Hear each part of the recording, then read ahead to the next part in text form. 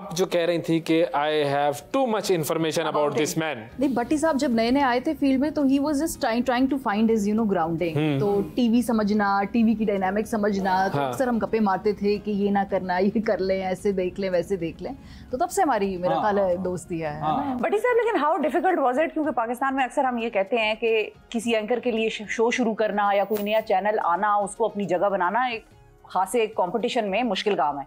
आप तो जब आए तो आप तो छा ही गए मतलब ये मैं नहीं कह रही ये लोगों का खास तौर पर आपके बारे में ये एक राय है कि किस शो पे बैठा है इरशाद भट्टी किधर? अच्छा इरशाद भट्टी बैठा है, रुक जाओ इधर ही तो ये आपके साथ ये कुछ ऐसा करेगा? हाँ एक तो वो जो आपकी नज़में और हाँ, वो। राइमिंग ये सिलसिला सिर्फ़ हमारा नहीं है आपका भी है हाँ एक तो मेरा ये था कि अभी थोड़ा सा चेंज हुआ है पहले मेरे साथ एक बड़ा अलमिया था कि फोर्टी से ऊपर और ट्वेंटी से नीचे मेरी ए, मुझे फ़ैन फॉलोइंग थी। ये दरमियान में मिसिंग थी। अच्छा। अच्छा।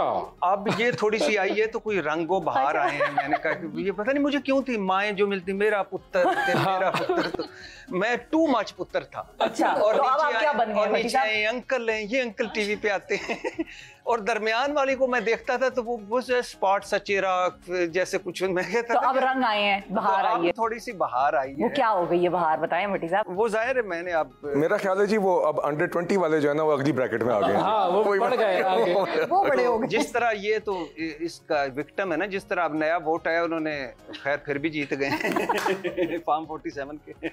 तो खैर तो वो जो था वो एक मिस था। दूसरा जो आया और छा गया ऐसे नहीं था पता नहीं क्यों था? मैं मुझ पे एक नबी की हदीस बड़ी सच्ची साबित होती है कि अल्लाह बेवकूफ़ों को इतना देता है कि अक्लमंद दंग रह जाते हैं। तो कुछ भी नहीं था सिर्फ़ अल्लाह का फजल था। हाँ जो मेरा प्रोग्राम था उसमें जब मैं आया तो उसमें बड़े बड़े दग्गज अ, फिक्रा बोल हूँ दग्गज। दग्गज। हाँ तो वो बैठे हुए थे मसलन इफ्तार अहमद साहब हसन निसार हाँ। साहब। हसन निसार साहब सोहेल बड़ैस साहब सलीम साफी साहब बुर्ज। सारे बड़े नाम। बाबर सत्तार साहब। हम्म। और इसके अलावा कौन थे? हामिद मीर साहब कभी कभी आया करते थे। तो ये ये वो लोग थे जो जिनका एक पॉइंट ऑफ़ व्यू था लोग सुनते थे। तो इसमें मैं आया ए, करता वो जो पेंडूपन में और वो सारा। तो वो उसमें फिर ऐसा हुआ कि बस निकल गया। आवाम को आपका अवामी तरीकाकार पसंद हाँ आया मुझे। एक तो अल्लाह के फजलो करम से मैं कोई कोशिश भी नहीं करता कोई पढ़ा लिखा लगूं। ना क्योंकि इसमें अच्छा ये तो पता नहीं आपने भट्टी साहब किस किस को ताना जुमला मारा है इस कमरे में भी। ये आपने अच्छा किया कि आपने कोशिश मुझे एक बड़ी मुसीबत होती है फॉर एग्जांपल जब ये अंग्रेज़ी समटाइम बोलती हैं तो मैं लाइव में पूछता हूँ कि प्लीज़ ट्रांसलेट इनटू इंग्लिश हाँ। अंग्रेज़ी बोलें तो। तो फिर ये मुझे बताती हैं कि इसका ये मतलब है तो और ये और फिर दूसरा मुझे ना ये बड़े अजीब से ये चेहरे बना के अच्छे खासे हँसते हँसते कैमरा ऑन चेहरे इस तरह बना लेना और इस तरह घोट घोट के उनको अच्छा। तो मैंने कहा बस करो यार जालमो क्या इस दुनिया में पहले क्या काम काम है तो थोड़ा सा इस तरह उसको किया लाइट अंदाज जितना आम- रखे, आम। आपकी ज़ुबान में मेरी आपकी तो खैर नहीं आप तो लीट में हैं जो हाँ हाँ ये बात सही की आपने बिल्कुल आम ज़ुबान बिल्कुल। में उसमें एक दिन शिफा यूसुफ से एक मैं इनकी कोई क्लिप देख रहा था कि ये एयरपोर्ट पे थी एयरपोर्ट को डिस्क्राइब कर रही थी कहीं से टिपक रहा है तो कहीं। वो भी इस अंदाज में कर रही थी कि दो मिनट बाद मुझे एयरपोर्ट से ज़्यादा इनसे चिड़ होने लगा। कि ये क्या मुसीबत है? सीधा सीधा बताएँ कि इसकी छत टपक रही है पानी नीचे आ रहा है। यूँ मैं जाती हूँ और ये देखें ये इस तरह करके घुमा के उसको जरा ड्यूरेशन भी लंबा लंबा लंबाई करनी थी ना। टाइम भी पूरा करना होता है। कपड़े पहने हुए थे वो लगता था कि एयरपोर्ट बेचें तो इतने ना महँगे। ओए होए होए शूज़ तो जेम्स बॉन्ड ज़ीरो ज़ीरो वाह वाह वाह। अच्छा लेकिन ये बात आपने वैसे बड़ी इंटरेस्टिंग की कि वो कैमरा ऑन होता है तो हमारे ऊपर एक वो कवर चढ़ जाता है। जैसी कंपनी है ही कोई नहीं मारिया मेमन जैसी काशिफ है मेहर है ये जो इनके चैनल की मैं सिर्फ़ बात कर रहा हूँ बादामी है।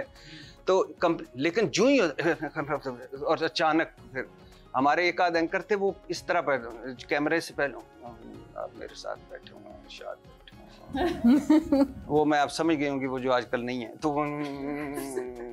तो अच्छा मैं उसको साथ कौन से जो आजकल नहीं है? साथ चश्मा तो नहीं लगाते? हाँ साथ छेड़ता होता था मैं उनको कहता होता था Irshad Bhatti one and all one तो वो इस तरह का मुझे ना कि भाई जो पहले थे वही लोगों को लगो और वही आगे उनको कहो कि आप में से कोई इधर बैठा हुआ है और वो बात कर रहा अच्छा ये क्या पॉलिटिशियंस के साथ भी होता है कि कैमरा ऑन होता है तो एक अलग उनकी शख्सियत सामने आती है?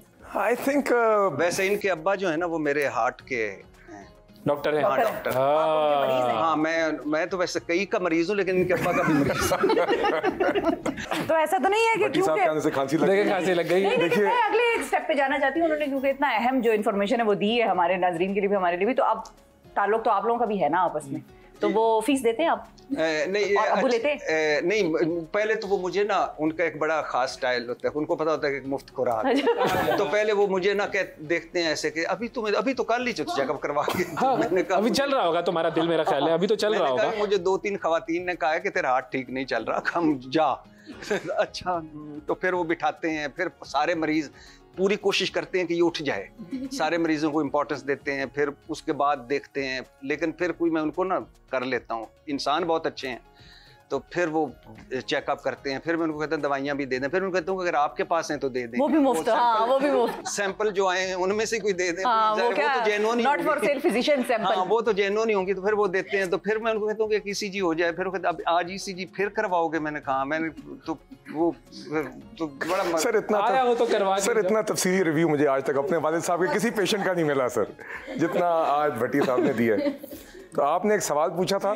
जवाब मैं देना चाह रहा हूँ मगर साथ साथ मेरा ये भी दिल है कि ये पूरा अगली ब्रेक तक चलना ही भट्टी साहब के साथ चाहिए जी। हकीकत है। मुझे भी इतना मज़ा आ रहा है। मुझे भी इतना मज़ा आ रहा है। भी दिल यही है कि मैं तो कहता हूँ आप दोनों तीनों चाय पी जाओ और आप तो पी आए मेरा ख्याल इत- इतने इम्पोर्टेंट लोगों के दरमियान में मुझे बैठा मुझे लग तो रहा है तो सुनना ही बेहतर है। दबी हुई हैं, नहीं, ना- दबे। सर सर आपको पता है इनका तारुफ है? नहीं मैं अल्हम्दुलिल्लाह। अभी अभी तारुफ होगा। उरूज कियानी जिस डॉक्टर के पास आप जाते हैं। हाँ। उनकी साहिबजादी। उनकी बेटी। जी। जनाजो कियानी की बेटी? जी। अस्सलाम कैसी है? अब अगला चेकअप और मुफ़्त है। मैं माजरत चाहता हूँ। मैं भी अपॉइंटमेंट्स लेके देती हूँ। बिल्कुल भी नहीं। अब मैं पहले आते ही मुझे लगा कि एक शाइन करता चेहरा इसमें जी एक ही है। बिल्कुल। थोड़ा दबा हुआ पर शाइन करता। और दबने दबने वाली बात पे भी हम इनका मजीद तारुफ करा दें।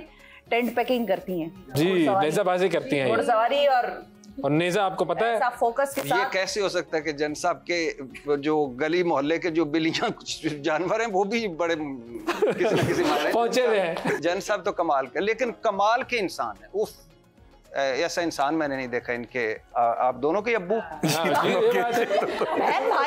हाँ, बाद में आप आपको काफ़ी सोचना पड़ा। अपॉइंटमेंट का डेट करीब तो नहीं आ रही? नहीं नहीं आप तो लग नहीं रहा है। कब है अगली अपॉइंटमेंट आप अगली दफ़ा आप कहिएगा कि आपके आपकी बेटे और बेटी ने भेजा कि हाँ फिर वो देखें किस तरह इलाज करते हैं। क्या शो है आपका यार? मिलवा दिया आपने लोगों है अच्छा तो अब आप एक मिनट रुकिएगा। अच्छा और क्या हाल है? अल्हम्दुलिल्लाह जनाब बिल्कुल क्या करिए बड़ी खुशी हुई जी। अगली दफ़ा अस्पताल इकट्ठे जाएँगे। हाँ। अस्पताल का वैसे जो इनका एक हॉस्पिटल है उनका एक दूसरा भाई है। जिससे मेरी ज़्यादा अंडरस्टैंडिंग क्योंकि वही अच्छा। पैसे पूछे कैसे वो अच्छा, हैं। एक्चुअली सबसे बेस्ट बच्चा। हमारी फैमिली का वो स्टार अच्छा। The younger one. हाँ। Youngest. यंगेस्ट वन हाँ वो वो अब्बा के साथ साथ होता है। अच्छा। तो मैं उनसे पूछता हूँ कि जन सब मूड कैसा है कहते हैं कि घंटे बाद।